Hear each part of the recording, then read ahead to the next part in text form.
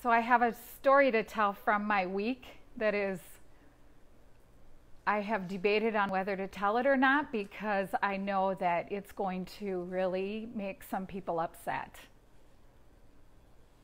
But it's very important that, especially those who are followers of Jesus, know the impact they're having on other people in this day and age. It's very important. So I'm going to tell the story. I went to um, a metro jail this week. Um, I visit a young woman there every other week, and it's a very large jail. And she's someone I've known for about 10 years, so I've had a lot of history with her. And a couple of years ago, she started calling me a lot because you know she was having a lot of um, she'd relapsed and she was having quite a few um, what would feel like what we would think of as very paranoid very paranoid behavior. You know when they call and they say there's people that are looking in my peephole you know that kind of stuff. And and everyone's like oh they're doing that again. And so it's been kind of a rough few years with her. And last July, she was calling me because I remember where I was driving when it happened because I actually went to her because I was afraid for her. And she was telling me that, you know, she was being followed and um, she was afraid of me coming to her because she says, then they'll start following you. And I'm thinking, but I said, I'm not worried. I'm not doing anything illegal. And she says, Well, no, if you come to me, they're gonna they're gonna take down your license plate and they're gonna start following you. And I'm like, so that is a very common thing that I experience. And so when you know a lot of people that are in this lifestyle of drugs in, and alcohol psychosis, the kind of things they start to experience, you're trying to determine is this real? Is this not real? And you're trying to determine. But at the same time, what I've come to learn over time is that there are many things in the story that are true. Many things that they say they're paranoid about or they're worried about or fearful about actually end up becoming factual. They're, they're true statements. And when somebody says they're being followed, in this case, with this young woman, she was being followed. And she was correct that when I went to see her, my license plate got taken down and I was put on the list of people. And it was very intriguing to me that she was right about that. Regardless, she ended up in jail in January and now it's September and she just took a deal for 10 years federal time. She took the deal for 10 years because if she took it to trial, it was going to result in a lot longer sentence. Her peer that is in with her just took a deal for 15 years, another young woman. And so, what these women were expressing to their family and friends as this is what's happening in my life, these people are following me, um, my phone's being bugged, all these things was very true. So now I bring it to what happened with that story. She says, Have you noticed today the people that are calling themselves Christians are acting the same way? She said they do the same thing as we do. They're, they act and talk like they're they're, they act and talk like we do. They, they talk about all these delusional type things, and everybody is saying, oh, those crazy people. But yet, we all know that some of it's probably true, and they insist that it's true, just like people in drugs insist that they're being followed. They said it's so similar that we sit here and talk about they're just like us. They pick this subject, they pick this person, they pick this topic, they pick this opinion, and they just ruminate on it. They ruminate and they ruminate and they ruminate, and it becomes this thing where you don't even want to be around them anymore because they just keep bringing this thing up. And you're like, can we talk about something else, please? But they just keep going on this topic. And so they compared a great majority of the people that they used to think were very focused on correct things for Jesus, they compared it to themselves and they said, they're very similar to us. I said, what do you think the common thread is when you com- when you compare it? What do you see as what's your comparison? What's the the core commonality there? And they said, this woman said, they don't trust that God is sovereign. They obviously don't trust that God is sovereign. They sound so similar. They don't dwell on the one topic, which is the true gospel of Jesus Christ. They're not about rescuing the lost. They're all about fighting some kind of a cause, whatever that is. There's a variety of them. They're critical, they're distracted, they won't listen, they're quick to judge. They're always arguing and dividing the body over opinions and differences in opinions. And they're not interested in serving. In fact, this woman said, It's very hard for me to get someone who will just come and read the Bible to me and will just come visit me in jail because they care about me. I can't find anyone to do that. Hardly anyone cares about us that is capable of coming in here and just sharing the Bible with me. They're not interested in that. I said, What do you think the solution is to this problem?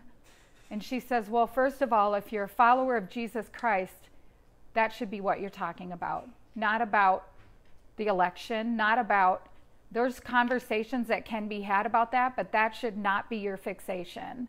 She said, That should not be the thing. If you're genuinely trying to build the kingdom, your topic should be Jesus Christ and eternity. That should be your topic. That should be what you're known for. That should be what people say. If you strike up a conversation with them, they're going to keep it to the gospel. They're focused on the mission. I asked her what worked for her. She said, believe it or not, getting thrown in SEG worked for her. She got put in SEG for 30 days when she got there because there was some conflict in the in the women's unit. She said in segregation she just had a few books, that was it. She's locked in a cell by herself. She said that cut off the access to all the paranoid who got arrested, who's who's snitching on who. She said it cut all that off from her. And she said it was like my mind detoxed from all this information. She said I just got somewhat of a sense of peace in my head for the first time. She said from things that were very true because people were coming into jail that certainly were part of these conversations. It was true information. But she said in segregation, I could only pick up the information that was in the books I was reading. And the books I was reading didn't talk about who was being investigated and who was using this drug and who was doing that, who was hanging with who, who's not to be trusted. She said none of that was in those books. Then she said she came out of SEG and immediately it flared right back up. She got with the same people, of course, because they're in the cell. It all starts the same thing all over again. And she said, I thought, oh no, I can't do this again. Now she felt the impact of it. Like, I recognize now how crazy I was acting. I didn't see it at the time, but now I see it. How that looked and how I looked. I looked obsessed. And she said, I put myself back in SEG. I asked them to put me back in SEG to get me away from it so I could make a plan for coming out of SEG. Since I'm not going to get out of jail, I need a plan to come out of SEG and not become that way again. So she said she made decisions in SEG to fast all media. She said, I'm not going to watch the news because I don't want to hear it. I don't want to know what it says. It could be true, it may not be true. People seem to think it's true, but she said, I don't want to hear it. It's not going to help my life, and it's not going to make me an ambassador for Jesus in jail to watch the news because it messes up my head. Then she said, I started fasting conversations with people who talked about the things that would make her get spinning on them. So she said, if they started that, she would say, Stop, just stop. I respect that. But stop with me. Stop with me. I can't do that again. I just need peace in my head. I want to read the Bible and I want to be able to understand it. And I want to be able to read again and understand what I'm reading. And I can't if I've got all that in my head. So she said, I stopped people from talking to me about those things. Most of them were true. She just said, It's not what God wants from me. So she said, Now I read my Bible.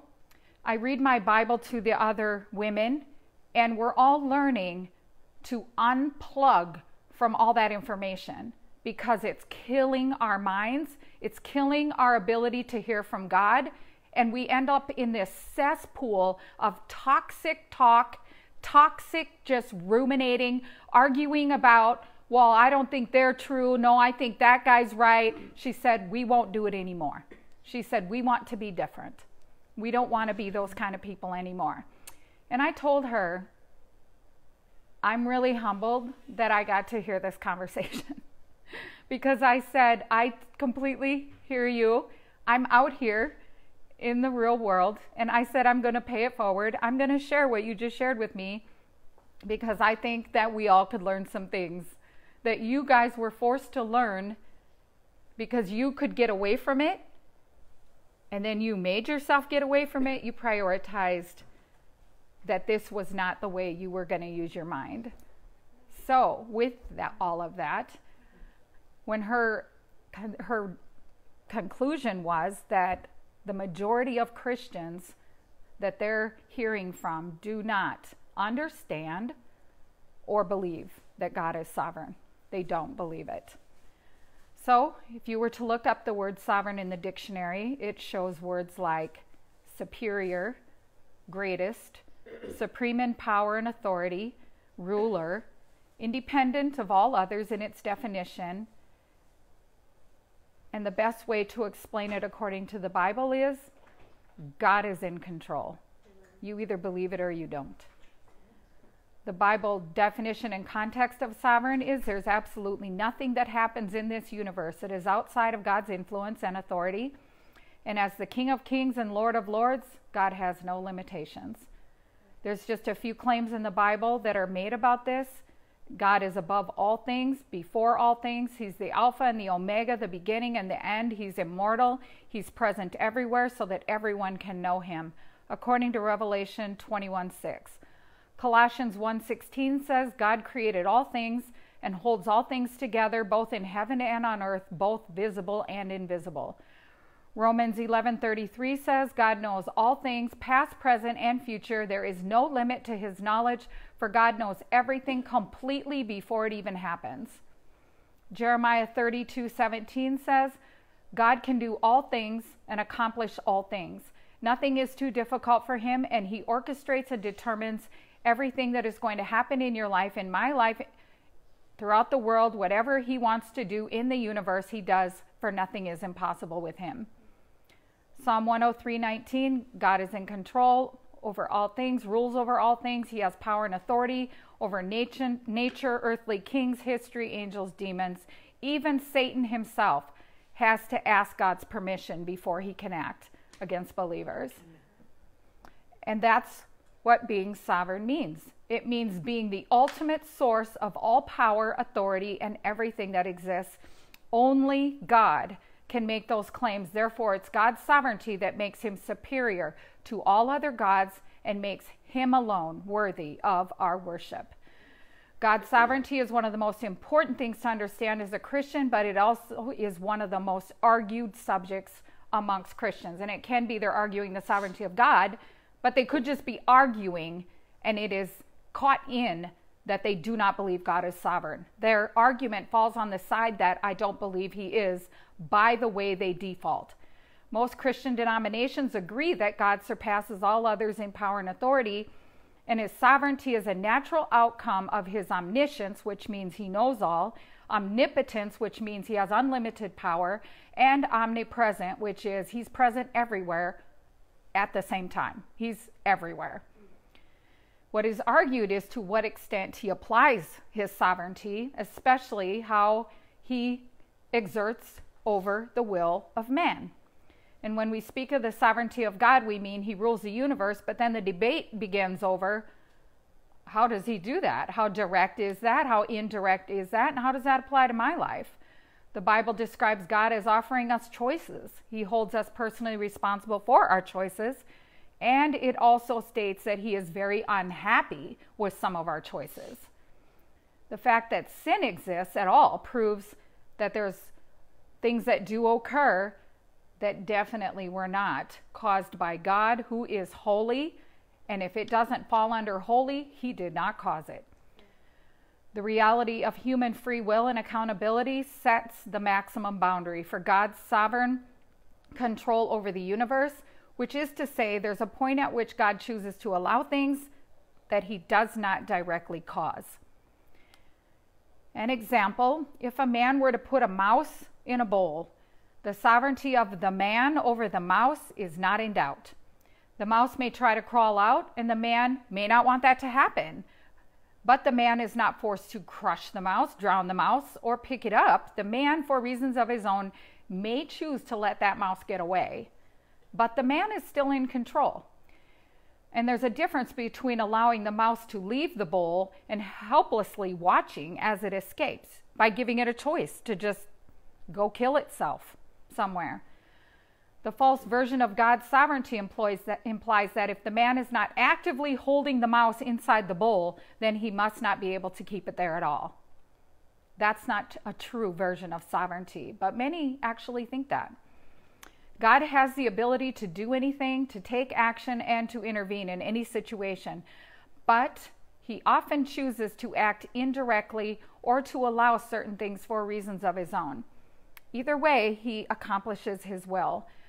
Today I visited an old friend and I met this friend back when he was a very vibrant person.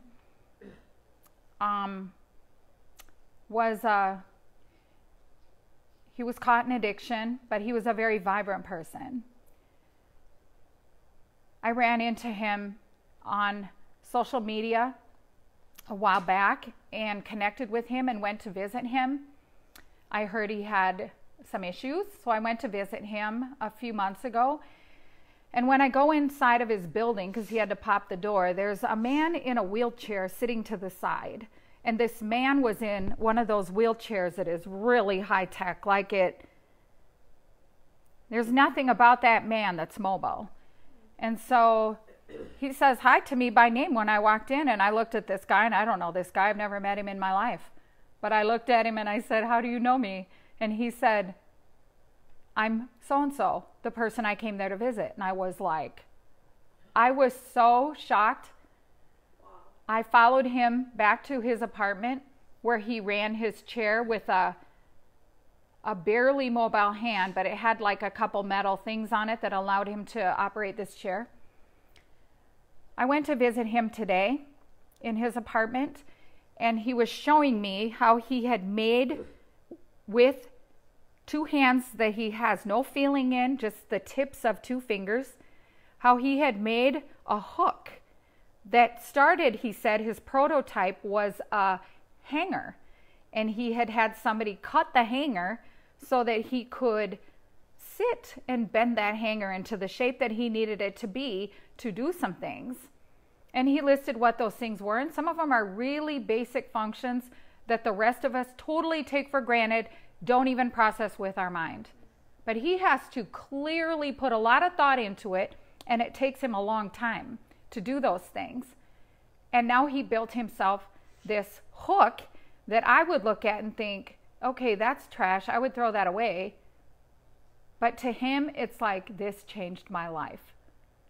My PCA doesn't have to do about 10 to 20% of what they used to have to do because I made this hook. Because if it didn't quite do what I needed it to do for that thing, I shaped it a little different and I made it work. And now I'm letting other people know hey, I can do this for you too. I can make you one of these. And this is how it works. And they're all very excited because they don't have the creative mind like he does. And they're very thankful that he has the ability to see what they need. And he said, Do you know what the problem is today with people? They don't listen. They don't look at me and listen because I've gone to everyone who keeps making my brace fit me better, doesn't leave rash or sores because he can't feel them. And I've said, I need to be able to do this. There's got to be a way. And they say, No, there isn't. And they don't change anything. He said, No one will listen. No one will care. And I know there's a way. I know there's a way.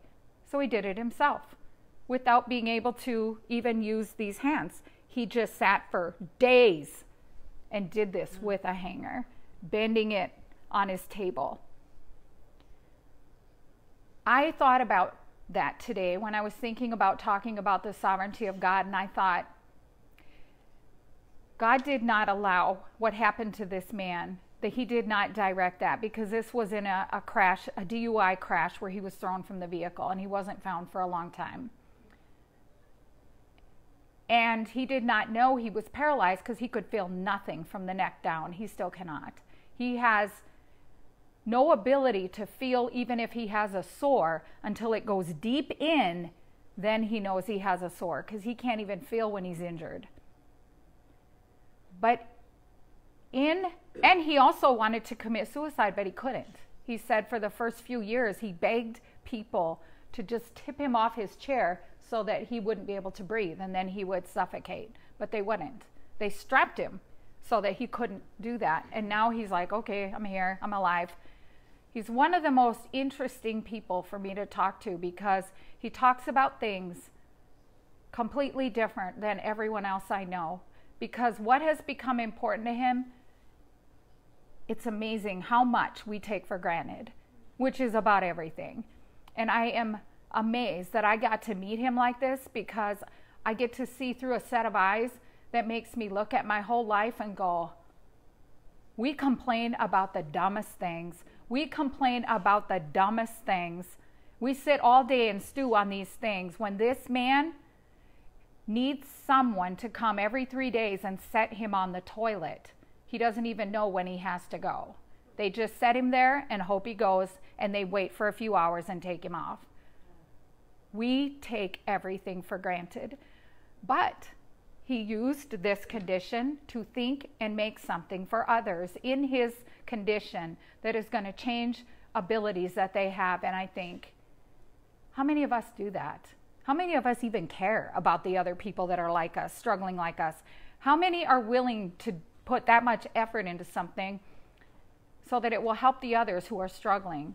Anyway, I am super inspired by him, and I wish I knew more people like him. God's sovereignty means that he is absolute in his authority and he's unrestricted in his supremacy. And everything that happens is at the very least a result of him permitting it. And this holds true even if specific things are not what he would prefer. The right of God to allow mankind free choice is just as necessary for true sovereignty as his ability to enact his will wherever and however he chooses. Andrew Wommack did a a teaching on the sovereignty of God that is absolutely so good that I'm just going to share it. I'm not going to summarize it. It's it, I, it's more important to me that people understand, and I would rather use his than try to compare anything close. The word sovereign is not used in the King James Version of the Bible, which is interesting. But it is used 303 times in the Old Testament of the NIV version but it's always used in association with the word Lord and is the equivalent of the King James Version's word Lord, God. Not a single one of those times is the word sovereign used in the manner that it has come to be used in religion in our day and time. Religion has resulted in the invention of a new meaning for the word sovereign, which basically means God controls everything. Nothing can happen but what he wills or allows. However, there's nothing in the actual definition that states that. The dictionary defines sovereign as one, paramount and supreme, two, having supreme rank or power, three, independent or sovereign state, four, excellent. And none of these definitions means that God controls everything. It is assumed that since God is paramount or supreme, that nothing can happen without his approval. That is not what the scriptures teach. In 2 Peter 3 9, Peter said, The Lord is not willing that any should perish, but that all would come to repentance. This clearly states that it's not the Lord's will for anyone to perish, but a lot of people are perishing. Jesus said, Enter ye in at the strait gate, For wide is the gate and broad is the way that leads to destruction, and many there be that go thereafter. Matthew 7:13. Relatively few people are saved compared to the number that go lost by choice. God's will for people concerning salvation is not being accomplished. This is because God gave us the freedom to choose. He doesn't will anyone into hell. He paid for the sins of the whole world, but we must choose to put our faith in Christ and receive salvation. People are the ones choosing hell by not choosing Jesus as their Savior. It is the free will of man that damns them, not God. People virtually have to climb over all the roadblocks that God puts in their way to continue on their course to hell. The cross of Jesus Christ and the drawing power of the Holy Spirit are obstacles that every single sinner has to encounter over and over. No one will ever stand before God and be able to fault him for withholding the opportunity to be saved.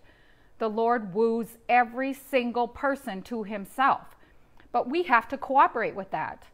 Ultimately, the Lord simply enforces the consequences of people's own choices. God has a perfect plan for everyone's life, but He doesn't make us walk out that plan. We are free moral agents with the ability to choose. He has told us what the right choices are, but He doesn't make those choices for us. God gave us the power to control our destinies. Typical teaching on the sovereignty of God puts Jesus in the driver's seat with us as a passenger.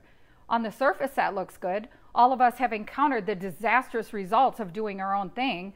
We desire to be led by the Lord, and teaching that nothing happens but what God wills fits that very nicely. However, the Bible paints a picture of each of us being behind the wheel of our own lives. We are the ones doing the driving. We are supposed to take direction from the Lord, but He's not going to force us to do that. Man has been given the authority over his own life, but he must have the Lord's direction to succeed. Jeremiah 10:23 says, "O Lord, I know that the way of man is not in himself. It is not in man that walks that walks to direct his steps. God created us to be dependent on him and our de- independence is at the root of all of our problems. And as if it wasn't bad enough for man to try to run his affairs independently of God and God's standards, it has been made even worse by religion, teaching us that all of our problems are actually blessings from God. That is a faith killer. It makes people totally passive. James 4 7 says, Submit yourselves therefore to God, resist the devil, and he will flee from you. And this verse makes it clear that some things are from God and some things are from the devil. We must submit to the things that are of God and resist the things that are from the devil. And the word resist means actively fight against it. Saying whatever will be, will be is not actively fighting against the devil. If a person really believes that God is the one who puts sickness on them because he's trying to work something good in their life, then they should never go to the doctor and they should never take any medicine. That would be resisting God's plans. They should let the sickness run its course and thereby get the full benefit of God's correction. Of course, no one advocates that. That's absurd. It is even more absurd to believe that God is the one behind the tragedy. Acts 10:38 says that Jesus healed all of those who were oppressed of the devil. It was not God who oppressed them, it was the devil. It's the same today. Sickness is from the devil, not from God. We need to resist sickness and by faith submit ourselves to healing, which is from God through the atonement of Jesus Christ. I know some are thinking, what about the Old Testament instances where God smote people with sickness and plagues? There's a lot I could say about that, but if I had the space, if I had the space, but a simplified answer to that question is that none of those instances were blessings, they were curses. God did use sickness in the Old Testament as punishment, but in the New Testament, Jesus bore our curse for us. Galatians 3:13. The Lord would no more put sickness on a New Testament believer than he would make us commit a sin. Both forgiveness of sin and healing are part of the atonement Jesus provided for us. Deuteronomy chapter 28 should forever settle this question for all who believe the word of God. The first 14 verses of De- Deuteronomy 28 list the blessings of God, and the last 53 verses list the curses of God. Healing is listed as a blessing in Deuteronomy 28 4. Sickness is listed as a curse in Deuteronomy 28 22, 27 28, 35, 59 to 61. God called sickness a curse. We should not call it a blessing. Knowing that God is not the author of my problems is one of the most important revelations that God has ever given to me. If I thought it was God who killed my father when I was 12 and some of my best friends before I was 20, if it was God who had people kidnap me, slander me, threaten to kill me, and turn loved ones against me, then I would have a hard time trusting God if he was like that. Remember, this is written by Andrew Wommack, not me. On the contrary, it is very comforting to know that God only has good things in store for me. Any problems in my life are from the devil or of my own making or just the results of life on a fallen planet. My Heavenly Father has never done me any harm, He never will, and I know that. I'm not saying that there is nothing to learn from hardships. Most of you reading this article have come to the Lord because of something in your life that overwhelmed you and caused you to turn to the Lord for help. That situation was not from God, regardless of the results. It was you turning to the Lord and the faith you placed in Him that turned your life around, not the actual hardship. If hardships and problems made us better, then everyone who has had problems would be better for them. Those who have the most trouble would be the best, and that simply is not so. Let me illustrate this story about my son Joshua, not my son, Andrew Wommack's son. When he was only one year old, one years old, I was loading lumber on a large truck in the heat of a Texas summer. I had Joshua with me, and he was having a hard time playing in the lumber yard. By mid, he was having a great time playing in the lumber yard. By mid afternoon, he was tired and sleepy and started to lie down in the dirt for a nap. I knew his mother wouldn't like that, so I put him in the cab of the truck to lie down and take his nap. He had been wanting to get into that truck all day, and when I put him there, he revived. I had to roll down the windows because it was hot, and Joshua was leaning out the windows waving at me in the side view mirrors. I told him to lie down and even gave him a spanking, but he didn't take heed. He leaned out the window too far, fell out of the cab, hit his eye on the running board, and landed on his head. I ran up to him, prayed over him, and held on to him until he quit crying. Then I told him that was why I told him to lie down and go to sleep and not lean out the window. I used that situation, which caused him great pain, to teach him. But if Joshua would not have been, if Joshua would have been like the sovereignty teachers of today, he would have gone out and told all of his friends that his father made him fall out of that truck to teach him how to obey. And that's not so. I did what I could to restrain him. I would be very hurt if that's how Joshua thought I was. Likewise, I don't believe it, it blesses our Heavenly Father for us to blame Him for all the problems that come into our lives. Sure, He will comfort us when we turn to Him in the midst of our problems, but He doesn't create the negative circumstances that hurt us. God is sovereign in the sense that He is paramount and supreme. There is no one higher in authority or power but that does not mean he exercises his power by controlling everything in our lives. Yeah. God has given us the freedom to choose. He has a plan for us. He seeks to reveal that plan to us and urge us to take that direction, but we get to choose. He doesn't make our choices for us. In many instances, it is our wrong choices that bring disaster upon us. In other cases, our problems are nothing but an attack from the devil, and in some cases, natural forces of an imperfect world that cause us pain. Our tragedies are never the judgment or correction of God. Jesus came to give us abundant life. The devil came to steal, kill, and destroy. Don't ever get that confused. If it's good, it's God. If it's bad, it's the devil. And this is a fundamental doctrine of Christianity that must be understood properly if you want victory in your life. Believing that God controls everything renders a person passive. Why pray and believe for something better? Whatever God wants will come to pass, that is simply not true. End of his teaching. We had a crisis going on last night. Um, a young lady was in some pretty serious psychosis and I was trying to navigate actually two of these situations at a time. And it was a situation where you tell them you need to call 911. She's not safe to herself. You need to call 911. And the people that were helping did call 911 and they spoke to the police, and the police said, Is this so and so? This is common with her. This is pretty normal. We're not coming. Wow. And we thought, Can you imagine? That's the reputation you have with the police of a big city. What if you really did need help? They're not coming. And I thought, wow, that's crazy. She wouldn't go to the hospital. She refused. This is mass, there's been multiple attempts of intervention here. We've been in a number of them. She calls my phone several times during the night. Um, I would listen to the messages because at this point I'm thinking there's a pattern here that needs to be broken. And she said, I need you to come over and just sit with me. And I'm thinking, nope, not doing that.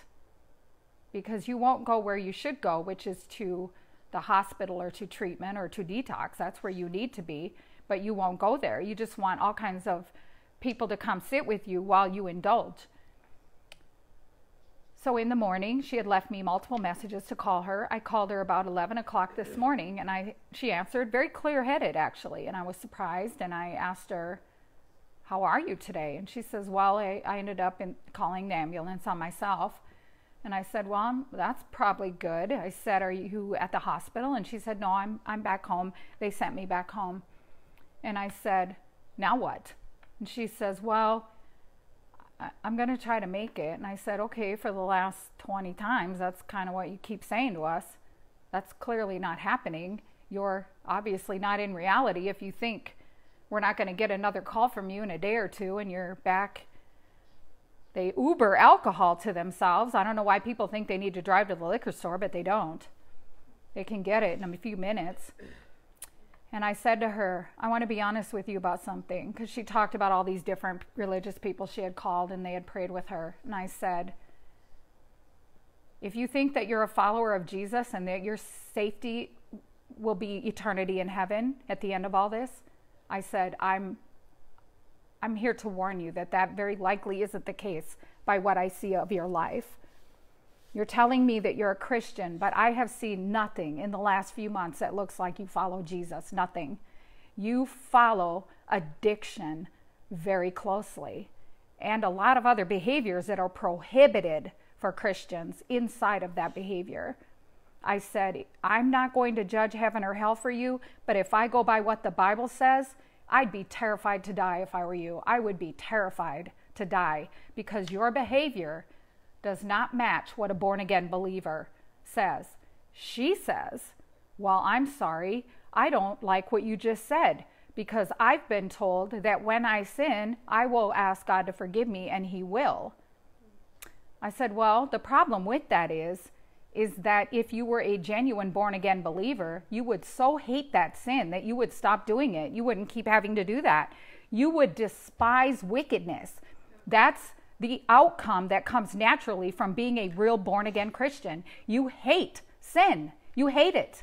If you do it, you're so disgusted and upset about it that you run to your friends and you say, I'm not leaving you. I'm going to sit right here with you. Don't let me do that again. I cannot do that again. Please help me not do that again. I said, It does not look like this. So I said, You need to humble yourself. You need to let go of self because you can't have this and heaven at the same time. She said, Why doesn't anybody tell me that? I said, I just did tell you that. She goes, Why hasn't anyone else told me that? I said, Well, I don't know, but I did tell you that. So now you know. Pick a side and get on it because I said that group that you're counting on being okay in, that lukewarm group where I can have it all, Jesus said that group angers him more than any other group and he will spit you out his mouth. He hates those because she mentioned, I read my Bible and I say my prayers I have this checklist, and I said, if your checklist could get you to heaven, Jesus didn't have to die. Your checklist, if that's what you're basing your getting to heaven on, replace the cross in your life. That is so offensive to God. I would not want to face him with that explanation. What does God's sovereignty, How does it impact my everyday life? It calls for our submission. Just as peasants bowed before their king for fear of offending the one who had the authority over their life, God's sovereignty compels us to bow before him. But unlike corrupt earthly kings who abuse their authority and terrorize their subjects, God rules us with love. He loves us and He wants the best for us, and He's eager to make it happen. Two, God's sovereignty provides us with comfort. But God makes that promise, and millions throughout history have testified to the truth because God has proven His ability to back it up time and time again. Think about the implications of that promise. Because God is sovereign and He loves you, nothing will come into your life that He doesn't decree or allow. Well, if He's sovereign, you can take comfort that the outcome of however it came in and whatever it was is going to bring glory if you belong to Him. He will work something amazing out of it. I certainly have seen the tragic deaths that come into families of very committed Christians, and it's like, can you imagine that? But like my friend today who can't feel anything from his neck down, I see extraordinary fruit in his life that was never there before.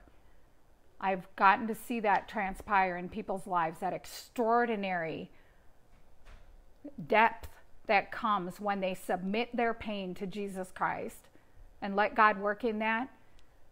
You can sit with them for hours and not stop learning from them because it's so overwhelming to hear them speak.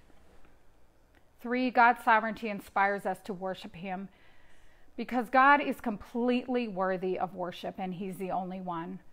The biblical claims listed above are very specific reasons why we should worship Him, but Psalm 41 1 to 2 is another. The earth is the Lord's and everything in it. The world and all who live in it, for He founded it on the seas and established it on the waters. The psalmist often worshiped God because God rescued him, God provided for him, and led him. And it's important and good to worship God for the ways he works in a person's individual life. But the psalmist also shows us in Psalm 145 3 that Christians can always worship simply because God is worthy of worship. Great is the Lord and most worthy of praise. His greatness no one can fathom. And we see in these countries where people who are very solid, committed Christians are in situations that are brought on by man and the wickedness of man. And we look at that and we think, where is God in that?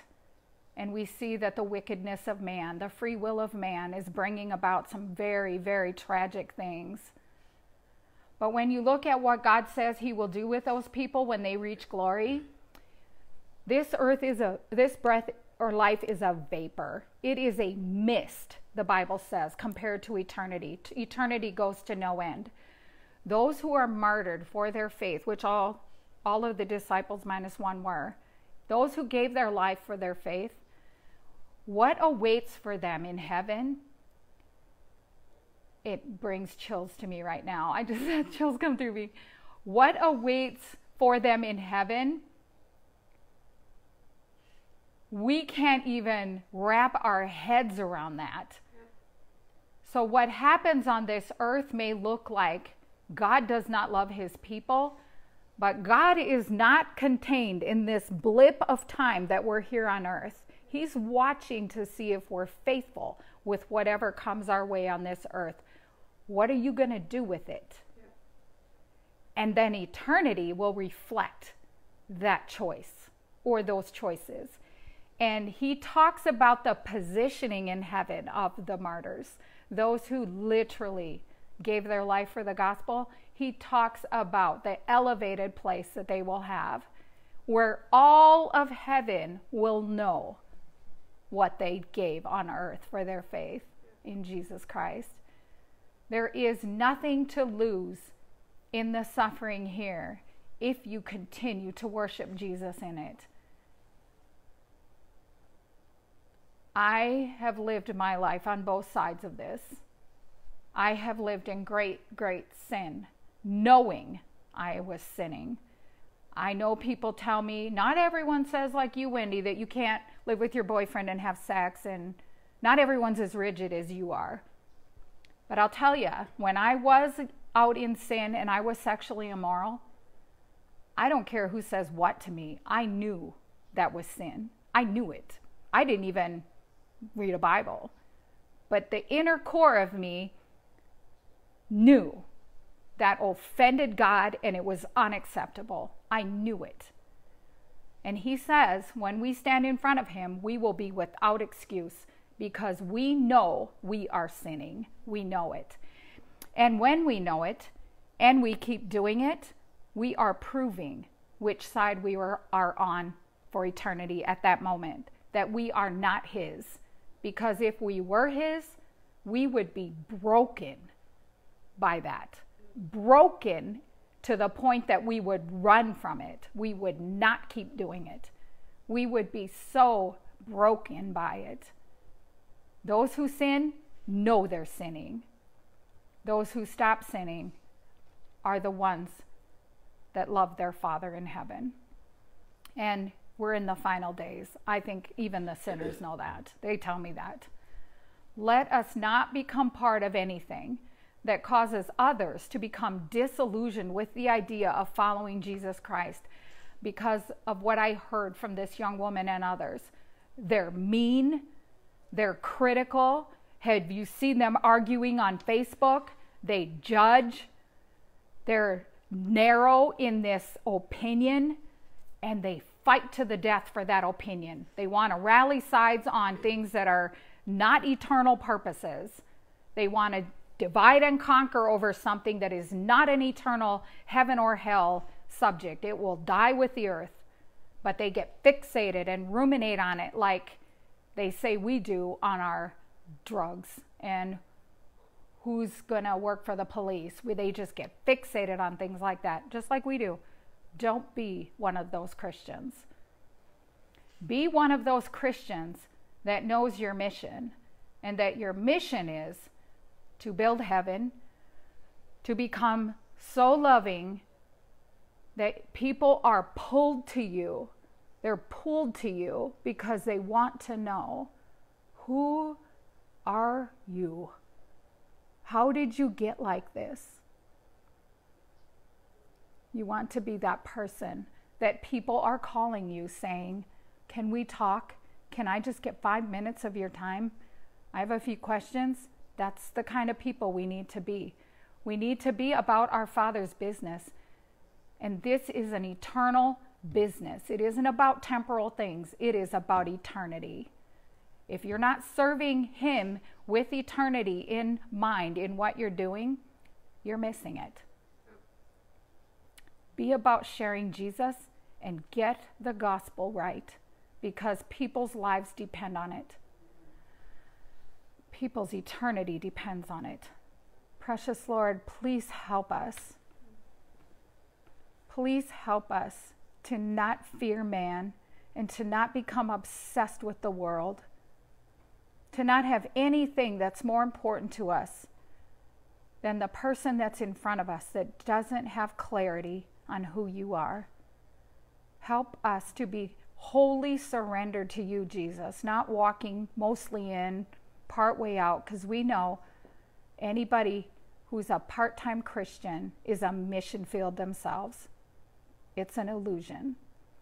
Help us, Jesus, to abandon ourselves completely to you and completely to the true mission, which is to populate hell and stop all these people from to populate heaven and stop all these people from going to hell that don't suspect they're going there. Help us to stay committed to the truth in the Bible. And I ask this in Jesus' name. Amen.